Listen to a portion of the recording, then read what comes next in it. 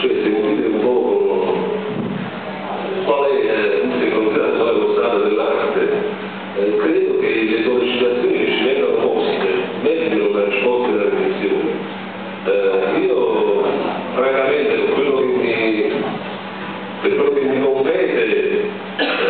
penso che sia doveroso confrontarci su questo argomento, visto che considerate le posizioni espresse dal Partito Democratico mesi sono state chiare. Noi abbiamo, non abbiamo nascosto quali erano le difficoltà, non,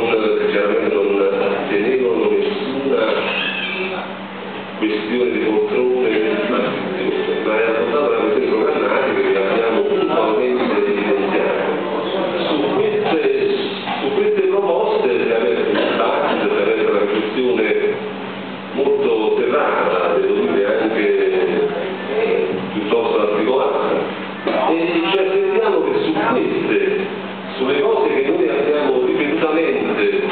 affermato in tutte le sedi, il Consiglio Comunale, nell'ambito delle sessioni di maggioranza, nei confronti che abbiamo avuto con i cittadini, con le associazioni e con il sindaco, noi riteniamo che sia opportuno che su questo, su questi argomenti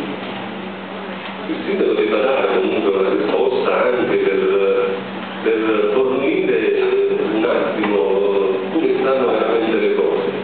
Eh, non vi nascondo che sono in atto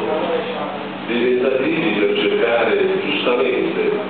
di, di comporre e ricondurre eh, la dialettica e su, su dei tavoli eh, che possano alla fine concretizzarsi in una posizione univoca. Quindi su questo credo, credo che sia giusto ed opportuno aprire, aprire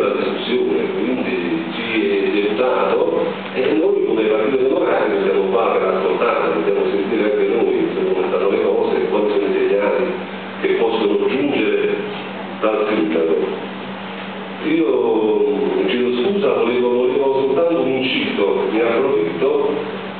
volevo testimoniare la mia solidarietà ad, un, ad una giovane giornalista, guardate, del, di Casoria 2, che ultimamente ho, ho letto delle mail che sono state scambiate, io apprezzo molto e credo che come me gran parte del Consiglio Comunale della città. Apprezza il lavoro che viene fatto con tanta pazienza da questi ragazzi che ci seguono, veramente devo dire con, con assiduità e con grande, grande sforzo nelle nostre elucubrazioni. Credo che non sia giusto che a questa giornalista che ha posto delle domande precise a, a un membro della maggioranza venga, venga consigliato di cambiare se, se, se, se la domanda non piace, non, non, è, non è giusto e non è rispettoso del lavoro che fanno questi ragazzi. Io ho concluso qui il mio intervento, di nuovo un invito al sindaco e alla maggioranza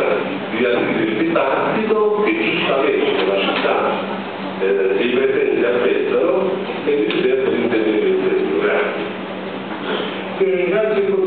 Anche perché dà l'opportunità al Presidente del Consiglio al Sindaco di esprimere la medesima solidarietà che ha manifestato il consigliere Maizza alla stimolista eh, che risponde al nome della dottoressa Lovasso. Io direi che bisogna continuare il, il dibattito, eh, o meglio iniziato se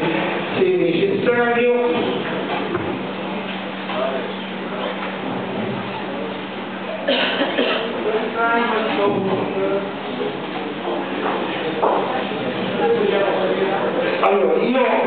invito a prevotare